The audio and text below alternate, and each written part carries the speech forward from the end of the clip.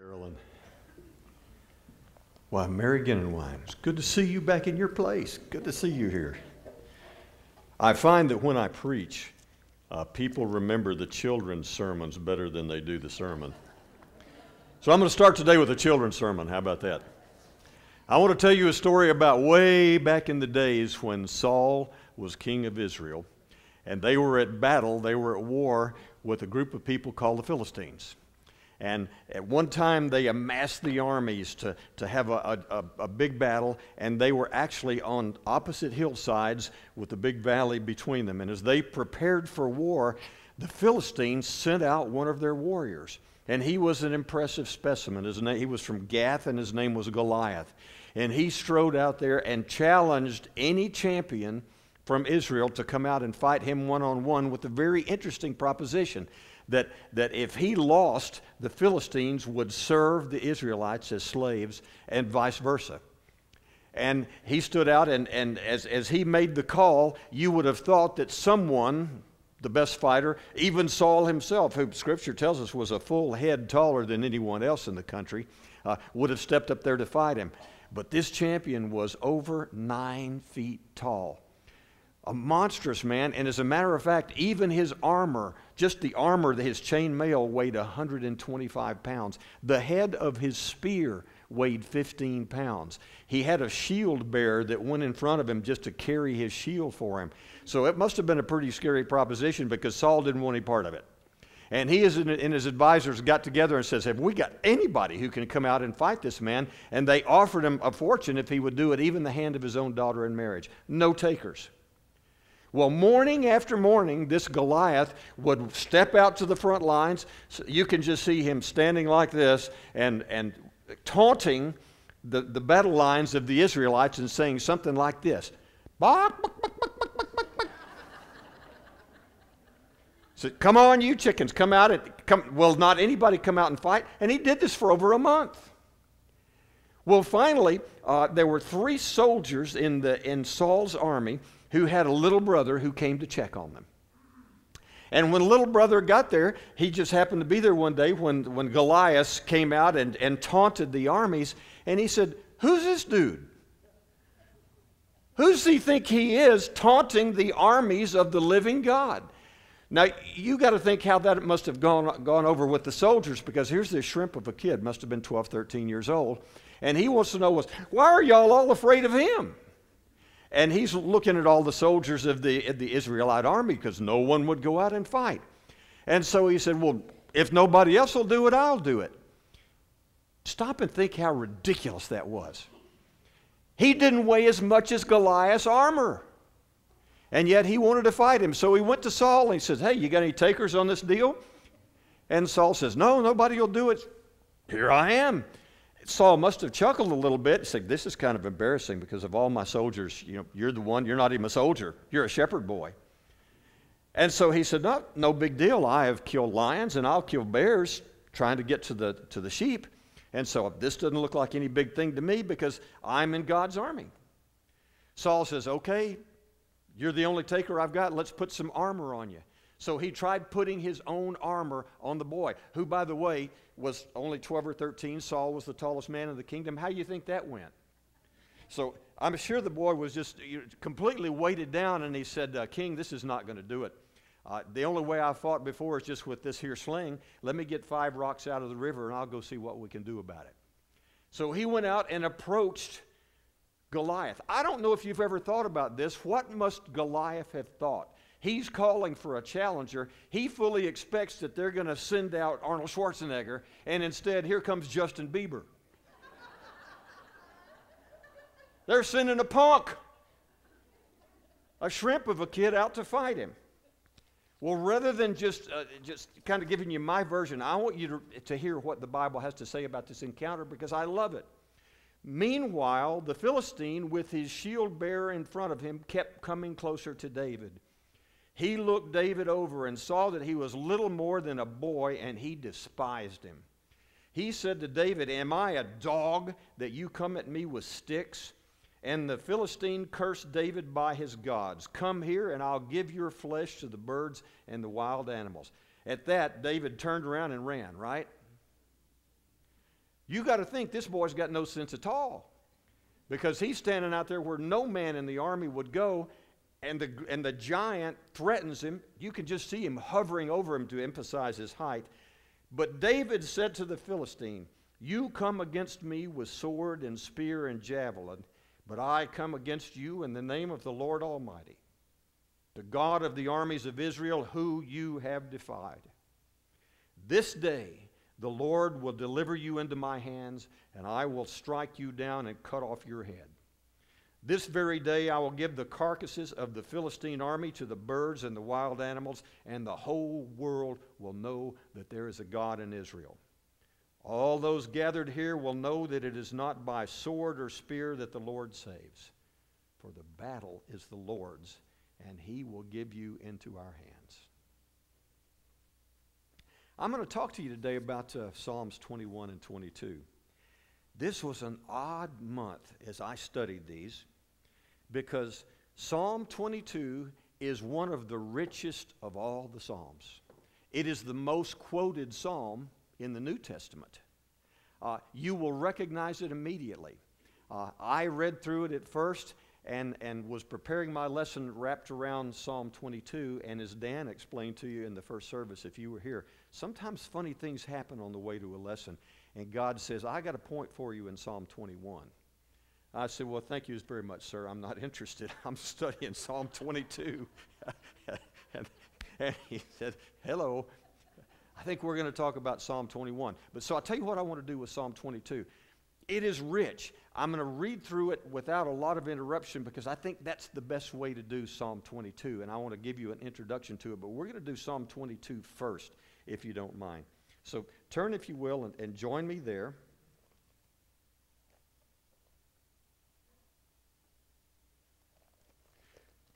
Now, Psalm 22, as I said, was the most quoted psalm in the New Testament.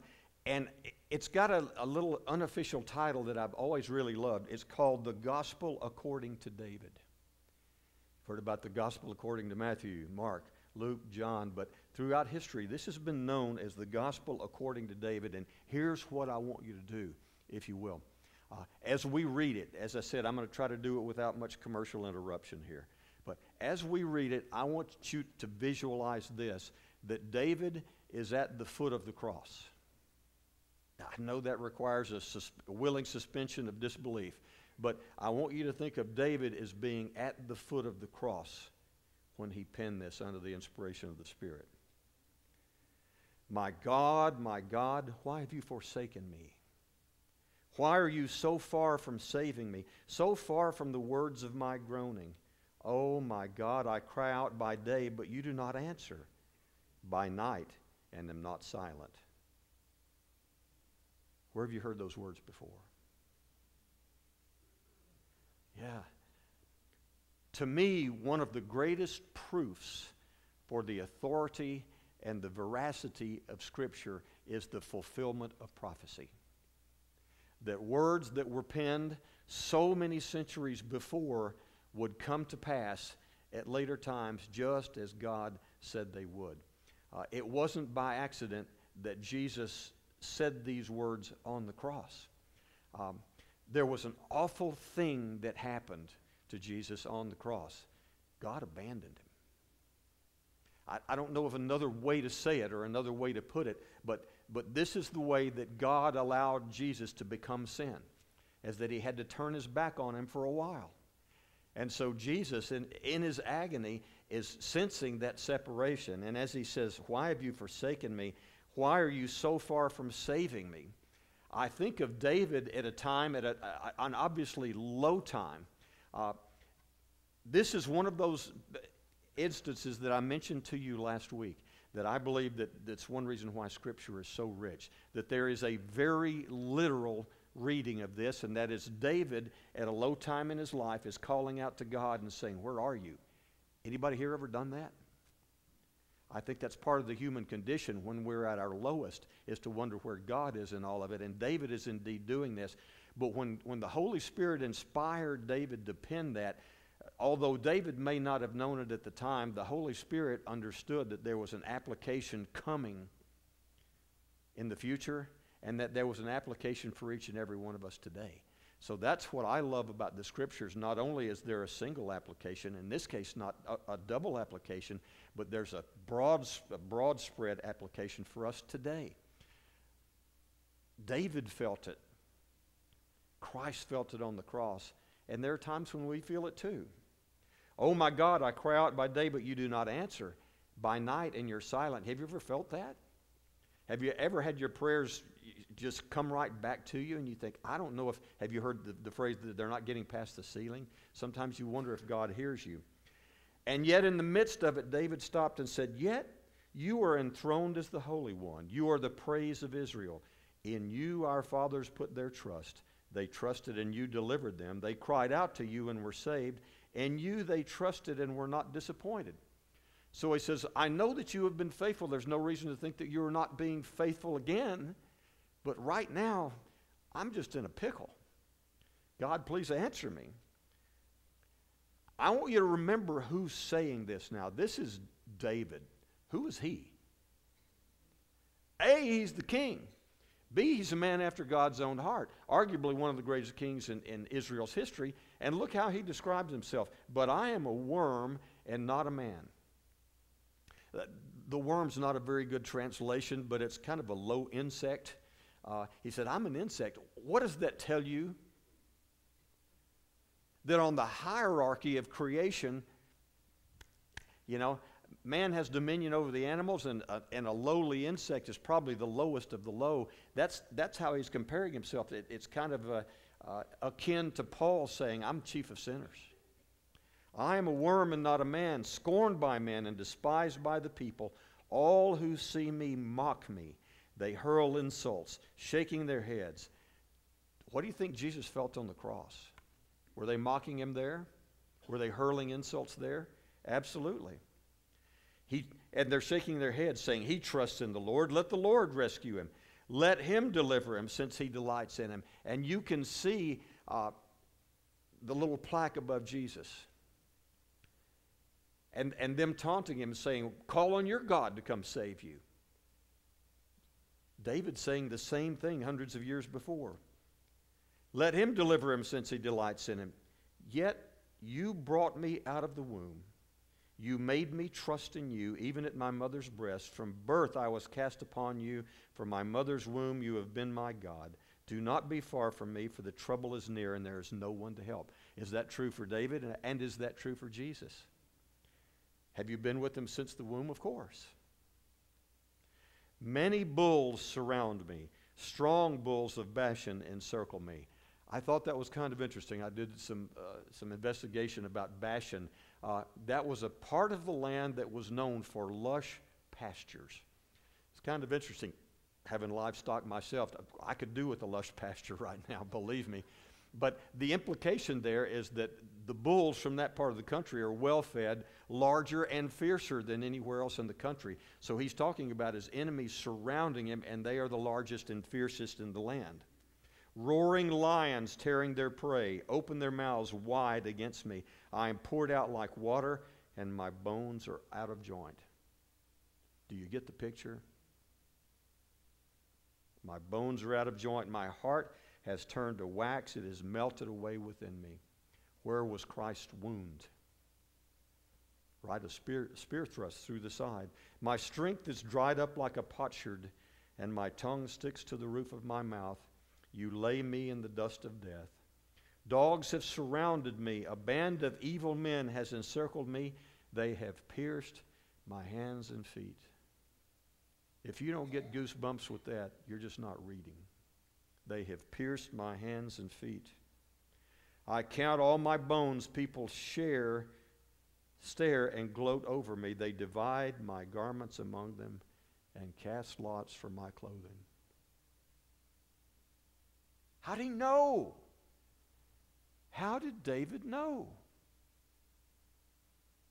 Only the inspiration of the Holy Spirit. But you, O Lord, be not far off. O my strength, come quickly to help me. Deliver my life from the sword, my precious life from the power of the dogs. Rem- rescue me from the mouth of the lions. Save me from the horns of the wild oxen. I will declare your name to my brothers. Does that last verse sound familiar to you at all? You'll find it in Hebrews, uh, 20, uh, Hebrews 2.12. And I want you to think about David saying, okay, Lord, uh, you save me. I will declare your name, which he does over and over again in the Psalms, but also Jesus did. And he tells us that, that when, when we remember him, he will remember us to his Father.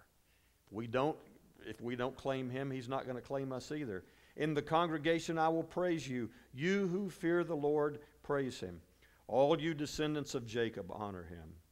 Revere him, all you descendants of Israel, for he has not despised or disdained the suffering of the afflicted one. He has not hidden his face from him, but he has listened to his cry for help. David is talking about himself here. He's saying, Don't worry about me. God has not forgotten me, even though I call out to his name. Could not Jesus have said the same thing? To those who are gathered around the foot of the cross, or to those, uh, to, to the women there who were at the foot of the cross and who are wondering, Where's God? Why doesn't God save him from this? And he's saying to them, You know what? He hadn't hidden his face from me. From you comes the theme of my praise in the great assembly. Before those who fear you will I fulfill my vows. The poor will eat and be satisfied. They who seek the Lord will praise him. May your hearts live forever. All the ends of the earth will remember and turn to the Lord. All the families of the nations will bow down before him, for dominion belongs to the Lord, and he rules over the nations. All the rich of the earth will feast and worship. All who, will, who, who go down to the dust will kneel before him. Those cannot keep themselves alive. Prosperity will serve him. Future generations will be told about the Lord. They will proclaim his righteousness to a people yet unborn, for he has done this. And it just kind of makes my head swim when I stop and think about, about David in the middle of his circumstances, calling out to God. And even in the midst of that, the Holy Spirit reveals what's going to be happening in Jesus' work upon the cross. It's just amazing. And that's why this is the most often quoted of uh, Old Testament scripture in the New Testament. Turn to Psalm 21, if you will. Psalm 21 is pretty much a continuation of, of, Psalm, 9, of Psalm 20. Uh, and if you recall, last week when we read Psalm 20, I told you that it's done in the third person because David did pen it. He wrote it, but he wrote it as something that the people sang to him. So in Psalm 20, the people are singing uh, praise and prayer for David as he goes into battle. Psalm 21 is the people singing praise because David has returned from the battle victorious. So Psalm 20, he's going off to war. Psalm 21, he's coming back to war. So uh, these will be the people singing, although David did write this. Uh, for the director of music, once again, a psalm of David. And this is written to be sung. O Lord, the king rejoices in your strength. How great is his joy in the victories you give. You have granted him the desire of his heart and have not withheld the request of his lips. Selah. That means pause. So we shall do that. For what are they thanking God? They're thanking him for some kind of victory. It doesn't say here particularly how, but here's one key is they said, look, the king meaning David, has prayed to you. He has petitioned you for something, and you have granted him that petition. And so they're, they're, they're first thanking God for granting David's petition. In this particular case, it's a military victory.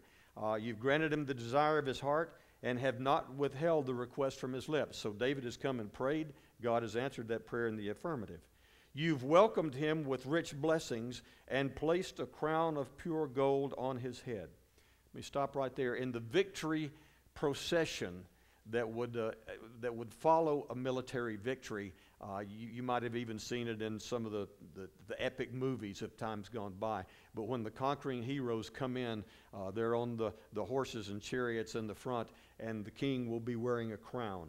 Uh, after them will follow a train of the captives and the people who they, the, the booty that they've brought back, the, the, plunder.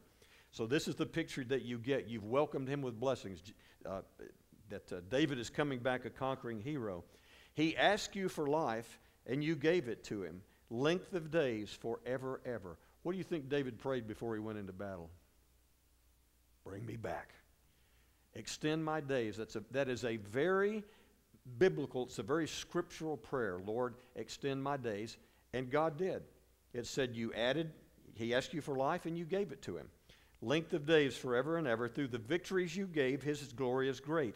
You have bestowed on Him splendor and majesty. Surely you have granted Him eternal blessings and made Him glad with the joy of your presence.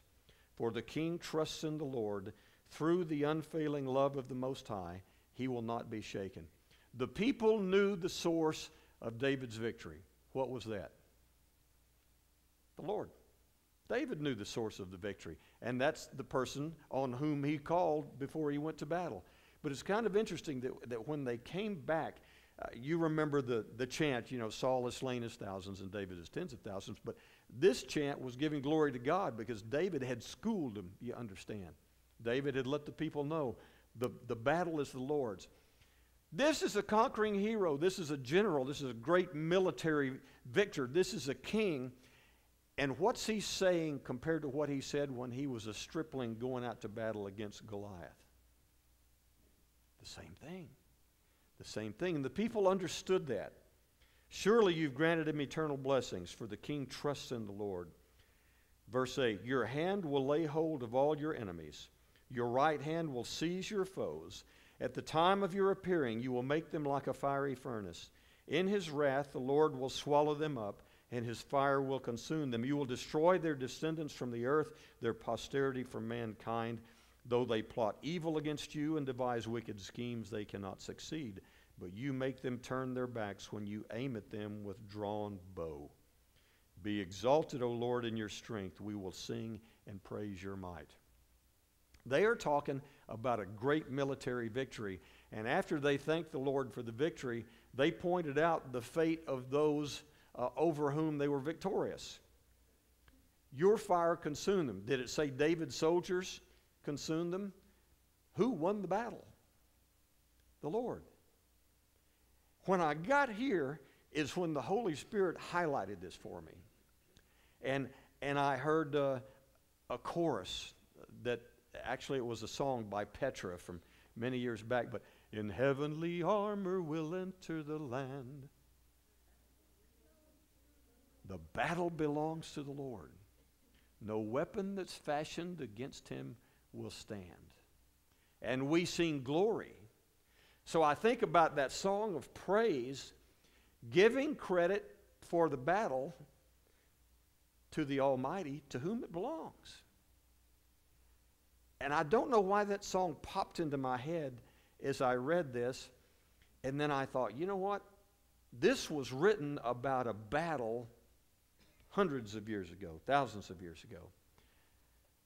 Do we battle today? Yeah, we do. We do. Ephesians 6, starting in verse 10. Finally, be strong in the Lord and his mighty power. Put on the full armor of God so that you can take your stand against the devil's schemes. For our struggle is not against flesh and blood, but against the rulers, against the authorities, against the powers of this dark world, and against the spiritual forces of evil in the heavenly realms. Therefore, put on the full armor of God so that when the day of evil comes, you may be able to stand your ground, and after you have done everything, to stand. Stand firm then with the belt of truth buckled around your waist, with the breastplate of righteousness in place, and with your feet fitted with the readiness that comes from the gospel of peace. In addition to all this, take up the shield of faith with which you can extinguish all the flaming arrows of the evil one. Take the helmet of salvation and the sword of the Spirit, which is the Word of God. Now, this is the point at which the world looks and says, well, here's a, another Baptist preacher, you know, talking crazy about spiritual warfare, and I don't want to hear about that. I just want to hear about me being happy. And I just want to hear about if I believe enough, God's going to give me a Cadillac. But here's something that struck me uh, is the fact that if I'm doing this right, if I'm placing my faith in Christ Jesus, then Satan's not going to be happy about that. If you don't believe Satan, that's all right. Too bad for you. Jesus did. And he's going to attack, and the forces of evil are going to attack.